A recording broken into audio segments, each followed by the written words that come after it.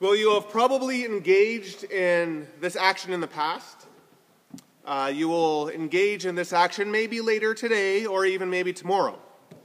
Everybody around the dinner table takes a turn and expresses what they are thankful for. It seems like an easy question, but if you're like me, when it gets to your turn, you have no clue what to say. Uh, now, Michael and Karen this year, they got it easy. So, but the rest of us, it's a little more difficult. After all, you can't say the same thing as you said last year. That's just unacceptable. Uh, it has to appear as if you've given it some real thought uh, and some real meditation.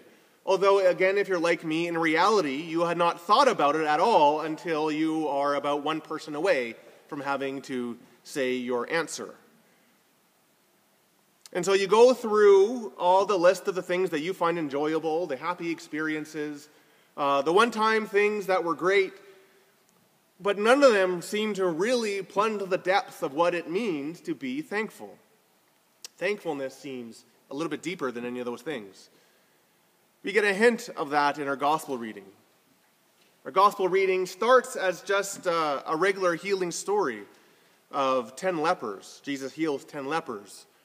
But in the midst of this story, we have uh, a deep dynamic of what thankfulness is, is really about. We hear of how Jesus heals the ten, but then one comes back, praises God, and thanks Jesus. And so in this action, we see that true thankfulness involves three things. It involves recognizing God's activity in our life, involves humbly placing ourselves before God, and then rendering our acts of thanks and praise. As I said, this gospel reading starts as a story of a healing of 10 lepers. It begins kind of like every other healing story out there. Jesus comes across people in need, and he responds. This time, however, it's not just one person, it's community. In Jesus' time, to be physically sick uh, amounted also to spiritual uncleanliness. It meant that you were somehow spiritually off, spiritually sick, as well as as uh, physically sick. Leprosy, which was a term that covered a variety of different skin diseases, was like the worst thing that you could have. And particularly because if you had leprosy, it meant that you were completely cut off from everybody else. You weren't allowed to live in the city, you weren't allowed to work, you had to exist outside the city walls. The only thing you could do was possibly beg. If anybody came near you, you had to start screaming, unclean, unclean, unclean, so that everybody knew that they had to keep their distance away from you. So everybody kind of stayed away. We hear how Jesus is walking between two areas, and he comes across these, these lepers, these, this community of, of lepers. You know, they're existing in no man's land. And so they cry to Jesus, but they still stay at a distance. Jesus demands that they go show themselves to the priest, because that's what they needed to do. In order, in that time, it was only a priest who could declare you healed and well and whole.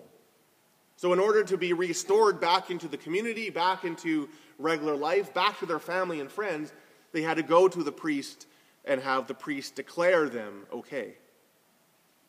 This is where the healing story changes into one about deep thankfulness. Verse 15 One of them, when he saw that he was healed, came back.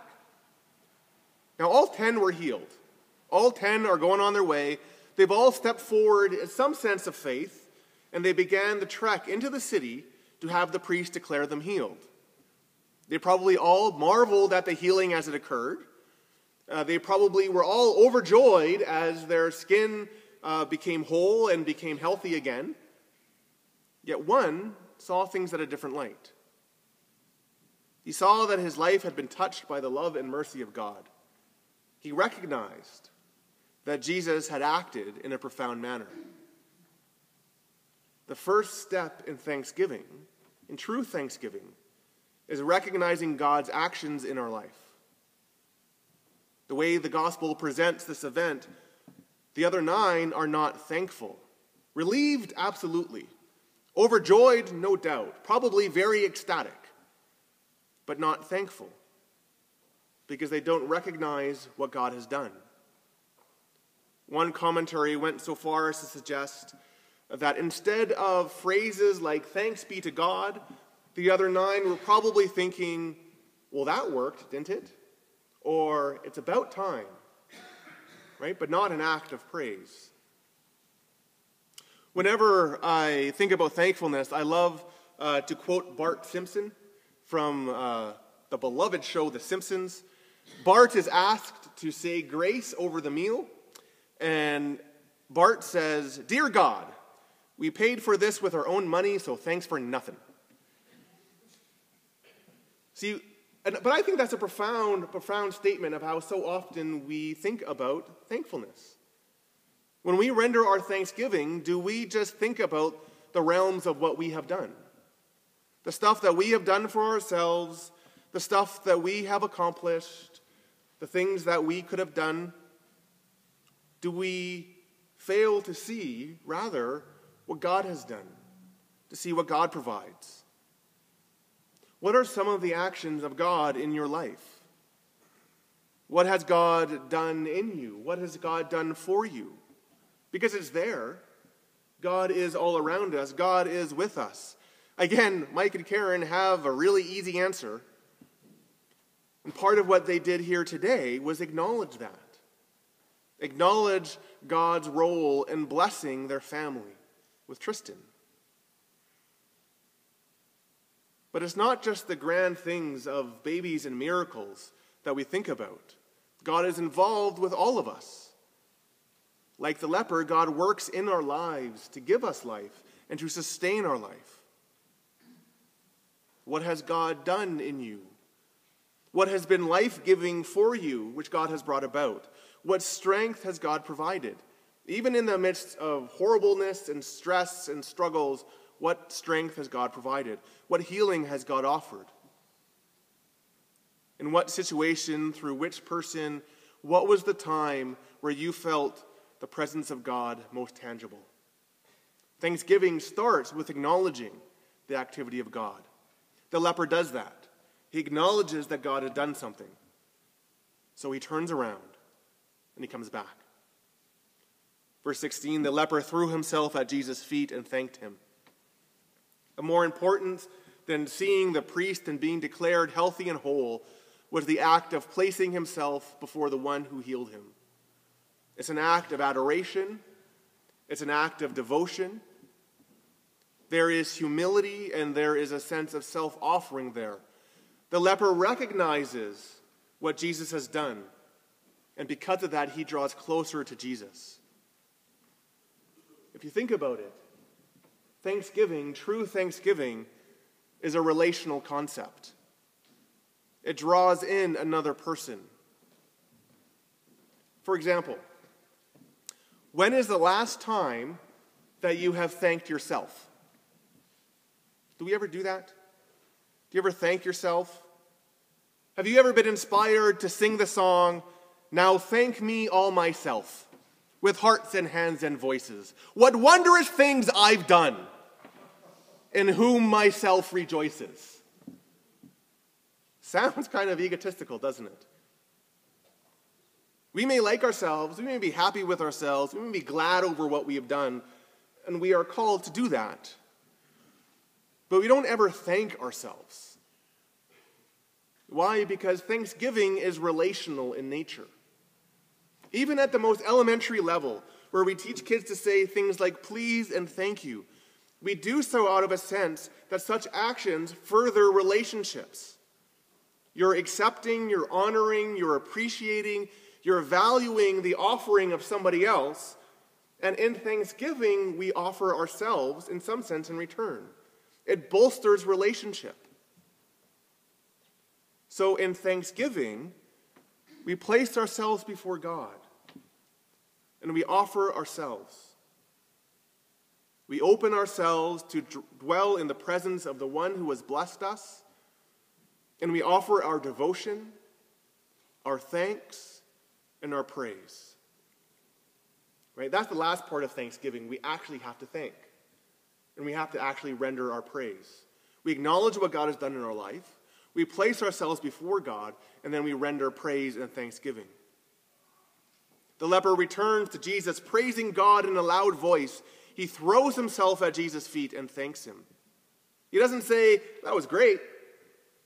He doesn't say, I feel wonderful. He doesn't say, That was enjoyable. He says, Thank you, God. Interestingly, uh, in, the, in the Greek, the word uh, for thanked, when he says, and he thanked Jesus, the word is Eucharisto. It's the word Eucharist. He goes to Jesus, places himself before him, and makes Eucharist. You know, later on, we're going to do that. Right? It's a wonderful model of what we're doing. When we kneel down on the altar rail, we acknowledge what God has done for us in the person of Jesus through the sacrifice of the cross. We place ourselves before Him and we receive what He has offered, and in praise and in thankfulness, we offer our praise and we offer Him ourselves as well. The leper's focus, the leper's direction, are to the praise of the one who has blessed him and have given him life and healing. True thanksgiving is about having our hearts and our minds drawn deeper to the love of God.